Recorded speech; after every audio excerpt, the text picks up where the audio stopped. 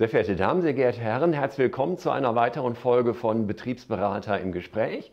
Wir begrüßen heute bei uns in Frankfurt Herrn Prof. Dr. Sebastian Benz, Rechtsanwalt, Fachanwalt für Steuerrecht, Partner bei Linklaters in Düsseldorf. Herzlich willkommen, Herr Kollege Benz. Was tun Sie da genau bei Linklaters? Ähm, ja, ich bin in der Steuerrechtspraxis tätig und äh, betreue vorwiegend ähm, Umstrukturierungen und M&A-Transaktionen, also alles, was mit Umwandlungssteuerrecht zu tun hat, aber auch Personengesellschaften, damit auch sozusagen angrenzende Themen wie Nachfolgeplanung, also alles sozusagen ja, was mit der Unternehmensstruktur an sich zu tun hat. Also sehr relativ breites Tätigkeitsfeld. Ja, bei uns stehen ja demnächst Bundestagswahlen vor der Tür. Das werden wahrscheinlich die spannendsten Wahlen seit Jahren sein, weil im Moment noch sehr viel nicht vorhersehbar ist. Wenn man sich so die steuerpolitischen Ansätze der einzelnen Parteien anschaut, was könnte denn da auf uns zukommen? Gut, das ist natürlich, ähm, also wenn man es, man kann sagen, bei der Union und bei der FDP ist ein relativ einfaches äh, Programm. Ähm, letztlich ist ein, ein Anfangszeichen weiter so. Und jetzt würde ich sagen, aus der steuerpraktischen Sicht eher vernünftig, vernunftorientiert. Äh, wir diskutieren ja in der Beraterschaft und mit den Unternehmen schon seit langem über diese 30 Prozent Unternehmenssteuerbelastung. Ähm, die Bundesregierung sagt ja immer, dass sie die Unternehmenssteuerbelastung in Deutschland bei 29,2 Prozent liegt. Und ich nehme immer Kochem, äh, äh, Zell an der Mosel als Beispiel. Da ist natürlich der Hebelsatz so niedrig, aber da ist natürlich jetzt auch nicht so viele Unternehmen und so viele Arbeitsplätze, die für die Gewerbesteuer relevant wären. Also deswegen ist ja die tatsächliche Belastung, wenn wir dann die Großstädte uns angucken, eher bei 32 Prozent. Und da wäre es natürlich schon hilfreich, das kriege ich aus den Gesprächen mit, wenn wir mit ausländischen Investoren sprechen, dass eine 2 davor schon nicht schlecht ist. Das wäre einfach ein politisches Signal.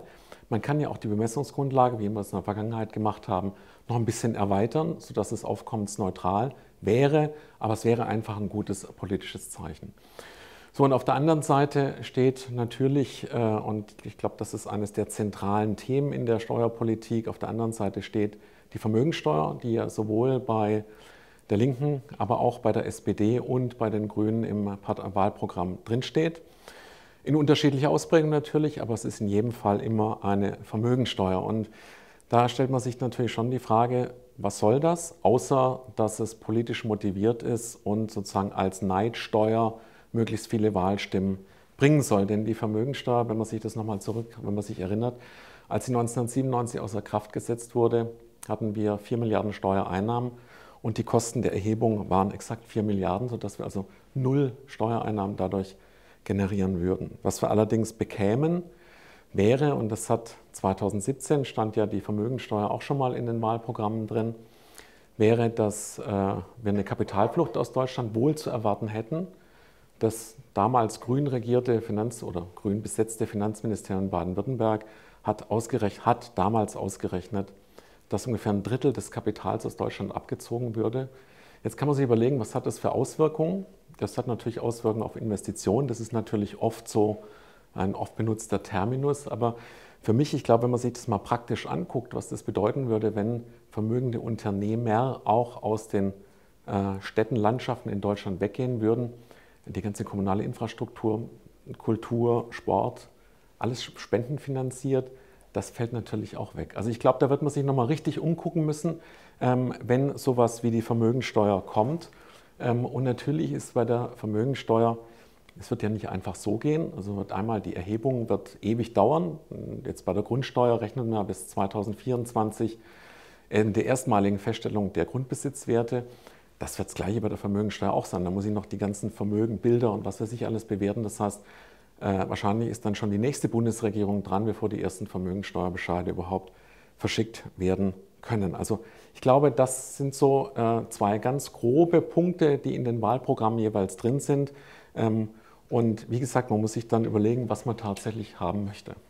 Sie haben ja schon einige Parteien genannt und es ist ja nicht ganz unwahrscheinlich, dass zumindest einige der Parteien, die Sie genannt haben, die sich für die Vermögensteuer einsetzen, auch an der Regierung beteiligt werden. Wir wissen natürlich heute nicht, wird es eine Deutschland-Koalition, wird es eine Kenia-Koalition, äh, was auch immer. Wo würden Sie denn mal so Blick auf weniger auf die Parteien, sondern eher auf die möglichen Koalitionen steuerpolitische Schwerpunkte sehen? Also ich glaube, am vernünftigsten wäre noch, wenn man jetzt die heutigen Zahlen mal zugrunde legt, ein schwarz-gelb-grünes Bündnis, ähm, weil die grünen Finanzpolitiker, und das ist auch im Wahlprogramm so angelegt, das sind ja gar nicht so dumme Ansätze. Die wollen ja die ähm, Klimaschutz, äh, sozusagen die Ökoabgaben verteuern, damit die einfacheren Menschen sich das auch leisten können, soll der Spitzensteuersatz nach oben. Ähm, das ist ja was, was die Union nie ausgeschlossen hat. hat ja immer, die Union hat ja immer gesagt, auch um den Solidaritätszuschlag wegzubekommen, lass uns doch den äh, Einkommensteuersatz nach oben anheben, Solidaritätszuschlag weg, dann nimmt man vielleicht noch einen Prozentpunkt obendrauf ähm, und dann hat man das auch, was die Grünen haben wollen. Und dann kriegt man das natürlich hin, äh, sodass sich dann so die drei Parteien, ähm, glaube ich, ganz gut zusammenfinden würden. Einfach wäre es äh, CDU, FDP, ich glaube, darüber müssen wir nicht reden, aber die Wahrscheinlichkeit, dass das, das wird nicht reichen, ja, das wird voraussichtlich. ist ja bei null, ja. Ähm, so, und wenn man sich überlegt, dann eine, eine, eine, der steuerpolitische, ja, was heißt Albtraum wäre wahrscheinlich eine rot-rot-grüne Regierung, weil dann die Abgabenlast doch deutlich steigen würde. Was das am Ende volkswirtschaftlich bedeutet, kann ich nicht sagen. Da bin ich jetzt, jetzt das müssten die Volkswirtschaftler sagen. Ich weiß nicht, ob das überhaupt jemand beurteilen kann. Ähm, jetzt nur mal aus der Praxis äh, würde man sagen, wenn diese wir, Abgabenlast mit der Vermögensteuer käme und sowas, ist keine Motivation für Unternehmer in Deutschland zu, ähm, zu investieren. Bei einer rot-rot-grünen Regierung hätten wir natürlich auch ähm, Herrn Scholz dann als Bundeskanzler, sehr wahrscheinlich nach den, so wie es nach den heutigen Zahlen ausschaut. Und ähm, da hoffe ich nur, dass es steuerpolitisch dann das Bundesfinanzministerium in bessere Hände gerät, weil das, was er in den letzten vier Jahren gemacht hat im Bundesfinanzministerium, das war, also jetzt, was ich hinter den Szenen Gespräche mit Beamten, Gespräche mit Politikern bekommen habe, nicht gerade förderlich für dieses Land. Da ging es los mit der Verzögerung des ATAT-Umsetzungsgesetzes bis nach der Wahl des SPD-Vorsitzenden. Das Kömok, das seit 2017 in der Schublade lag, wurde zum Schluss als Unterpfand äh, für die Zustimmung zum ADAT-Umsetzungsgesetz rausgezogen. Das hätte man auch gleich machen können, wenn man wirklich Deutschland nach vorne bringen wollte. Die Bundesverfassungsgerichtsentscheidung zu 233a hat gezeigt, äh, AO hat gezeigt, dass ähm, eigentlich man schon 2019 hätte die Verzinsung ändern müssen. Deswegen ja auch, man, dem Praktiker mag sich gewundert haben, warum äh, das Bundesverfassungsgericht gesagt hat, bis 2018 ist die alte Regelung noch weiter anzuwenden, ab 2019 ist rückwirkende neue Regelung anzuwenden, weil der BFH das schon klipp und klar gesagt hat. Und das hat das Bundesverfassungsgericht auch gesagt. Da würde ich eigentlich von jemandem erwarten, der ähm, Politiker in diesem Land ist, dass er die Verfassung ernst nimmt und schon damals reagiert. Also deswegen ist das mh, hm, vielleicht ähm, mit einem Bundeskanzler Scholz er hat dann nicht mehr viel für die Steuerpolitik oder in der Steuerpolitik zu sagen. Das wäre das könnte der große Vorteil sein, dass er das nicht mehr Bundesfinanzminister dann der, dass, dann, dass dann wirklich jemand dran wäre, der das vernünftig macht und ähm, auch wieder tatsächlich an den Interessen dieses Landes interessiert ist. Und das ist eigentlich das, was, was mich so stört, dass dann ähm, zu viel agiert wurde und dass wir diese Punkte werden gleich noch dazu kommen, dass die Punkte, die eigentlich wehtun heutzutage, dass die eigentlich nicht angegangen werden die Begrifflichkeit angehen, ja, trifft das ja genau. Wir müssen ja jetzt Dinge angehen, beispielsweise die ganzen Folgen der Covid-19-Pandemie und alles, was auch das Bundesverfassungsgericht ja gesagt hat äh, zum Klimaschutz. Welche Koalition würden Sie denn da am ehesten sehen, die sich dieser Probleme der Bewältigung der Folgen der Corona-Krise annehmen kann? Vielleicht schichten wir das mal ab und fangen mit Corona an. Gut, das ist natürlich die Frage, also auch das ist eigentlich eher was, was der, was der Volkswirtschaftler äh, zu beantworten äh, hätte. Ähm, man wird sagen müssen, mit einer äh, eher konservativ-liberalen Regierung weniger Ausgaben, man wird auf, auf Wirtschaftswachstum setzen und dadurch auf Steuermehreinnahmen. Man sieht ja, dass das auch momentan schon gut funktioniert. Ähm, und auf der anderen Seite wird natürlich mehr Abschöpfung, mehr, werden mehr Steuereinnahmen generiert. Und da ist die Frage, was hat das dann am Ende für Auswirkungen? Das kann gut gehen, das kann schief gehen, wenn wirklich, wie das Finanzministerium Baden-Württemberg damals ausgerechnet hat, Kapital abgezogen wird, wird das natürlich nicht gut für Deutschland.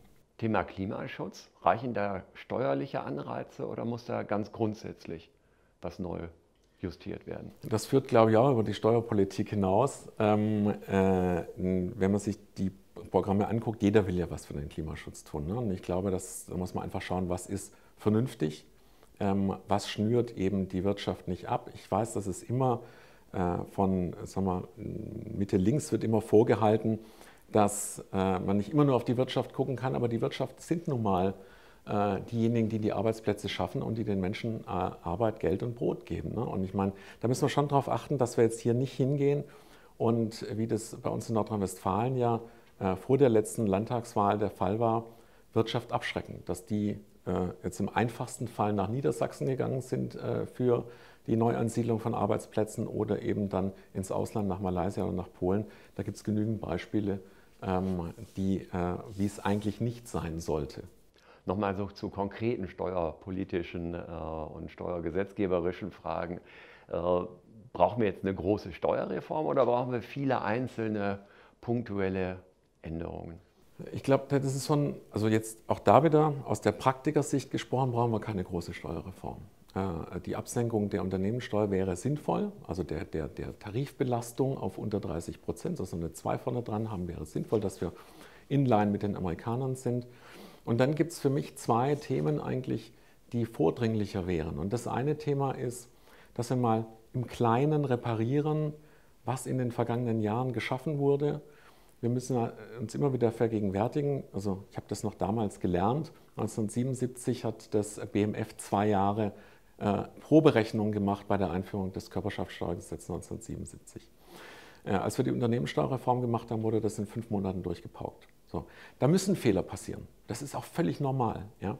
Und für mich ist immer ein gutes Beispiel der Paragraph 34a, also diese Thesaurierungsbegünstigung im Einkommensteuergesetz. Ähm, da wissen wir alle seit 2012 mindestens, es gibt sechs Punkte, die müssen geändert werden. So.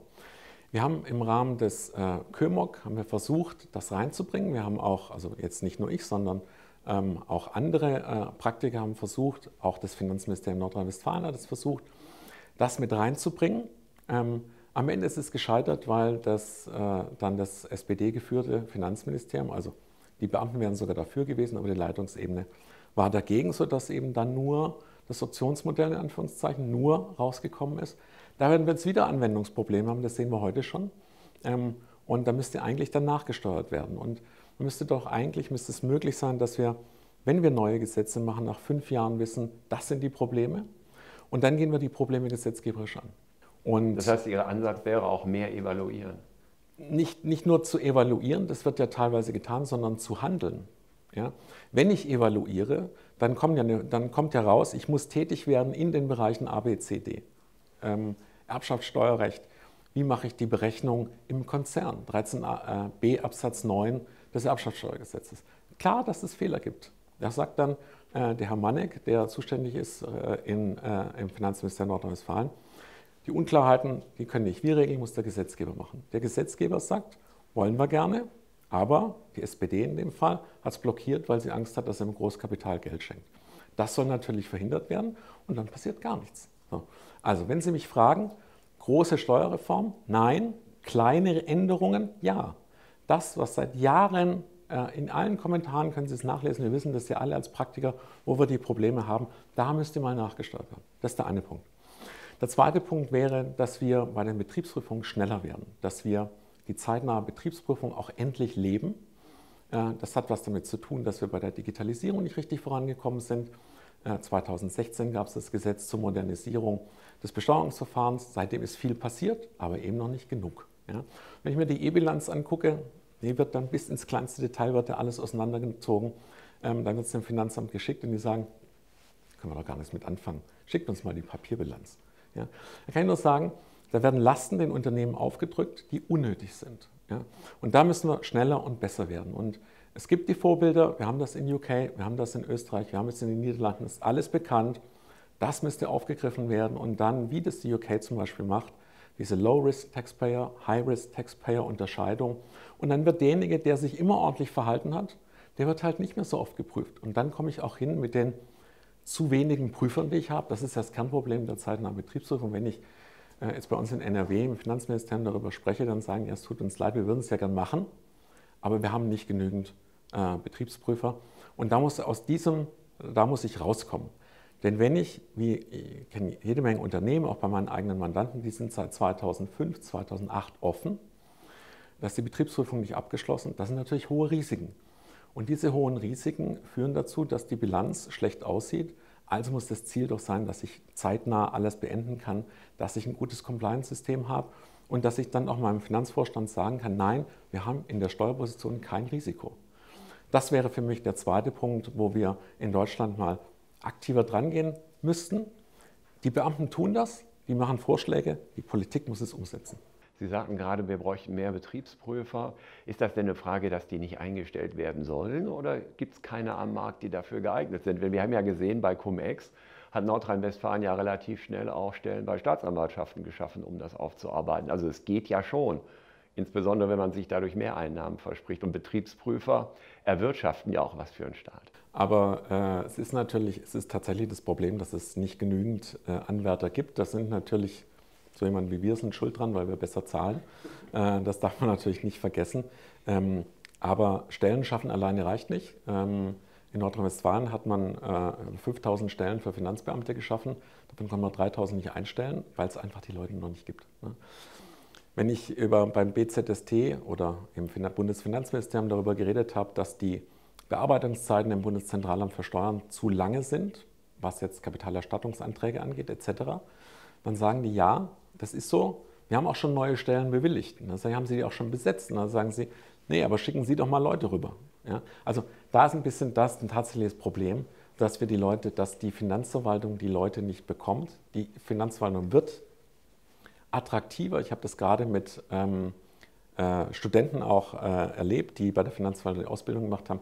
Die werden alle wieder zurückgecasht. Ja, danke, Herr Benz, für diese steuerpolitischen Einblicke. Das war interessant und man merkt Ihren Ausführungen auch an, dass Sie viel lesen. Deswegen unsere letzte abschließende Frage. Neben allem Fachlichen, was Sie so in den letzten Wochen und Monaten gelesen haben, hatten Sie vielleicht in Sommerferien Gelegenheit, auch mal ein nicht fachliches Buch zu lesen? Äh, ja, tatsächlich. Ähm, äh, zum einen, äh, das, das war ähm, von Julie C.